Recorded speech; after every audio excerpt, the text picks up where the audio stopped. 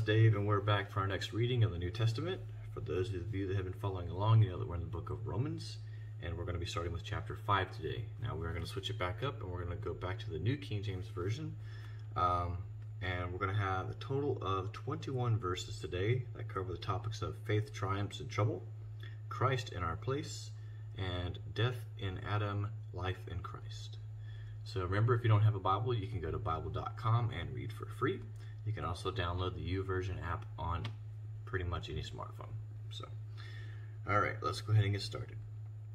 Therefore, having been justified by faith, we have peace with God through our Lord Jesus Christ, through whom also we have access by faith into this grace in which we stand, and rejoice in hope of the glory of God. And not only that, but we also have glory in tribulations, knowing that tribulation produces perseverance and perseverance, character, and character, hope. Now, hope does not disappoint, because the love of God has been poured out in our hearts by the Holy Spirit who is given to us. For when we were still without strength, in due time Christ died for the ungodly. for scarcely a righteous man will one die, yet perhaps for a good man someone would even dare to die. But God demonstrates his own love towards us in that while we were still sinners, Christ died for us. Much more then, having now been justified by his blood, we shall be saved from wrath through him. For if, when we were enemies, we were reconciled to God through the death of his Son, excuse me, much more, having been reconciled, we shall be saved by his life. And not only that, but we also rejoice in God through our Lord Jesus Christ through whom we have now received reconciliation.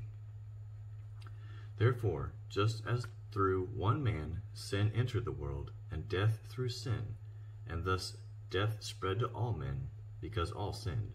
For until, until the law, sin was in the world, but sin is not imputed when there is no law. Therefore, death reigned from Adam to Moses, even over those who had not sinned according to the likeness of the transgression of Adam who is a type of him who was to come.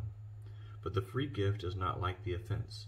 For if by one man's offense many died, much more the grace of God and the gift of by the grace of the one man, Jesus Christ, abounded to many. And the gift is not like that which came through the one who sinned, for the judgment which came from the one of offense resulted in condemnation, but the free gift which came from many offenses resulted in justification. For if by the one man's offense death reigned through the one, much more those who receive abundance of grace and of the gift of righteousness will reign in life through the one, Jesus Christ.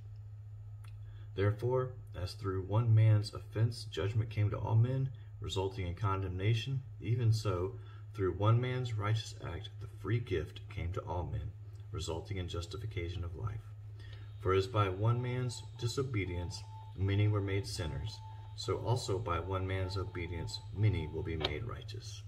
Moreover, the law entered that the offense might abound, but where sin abounded, grace abounded much more, so that as sin reigned in death, even so grace might reign through righteousness to eternal life through Jesus Christ our Lord. Well, that concludes chapter 5 of the book of Romans. Um, hope you enjoy it. Thanks so much for all the comments that you all have been giving me on my YouTube channel. I greatly appreciate it.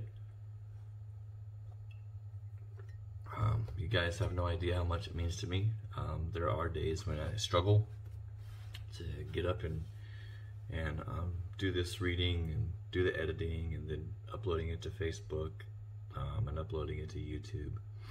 Um, but you guys and Twitter, um, but you guys make it all worthwhile. So thanks so much. Um, I started this journey as a means for me to read the Bible, uh, the New Testament from front to back, and then um, in doing so, it's helping me share the gospel of Jesus Christ to someone who may otherwise not hear it and that's what this shirt's all about. I know you can't read this one. This is a black on black type shirt, but you know, disciple. That's my goal in life. Um, I'm not a pastor, but I can still share the gospel. So thanks so much for watching.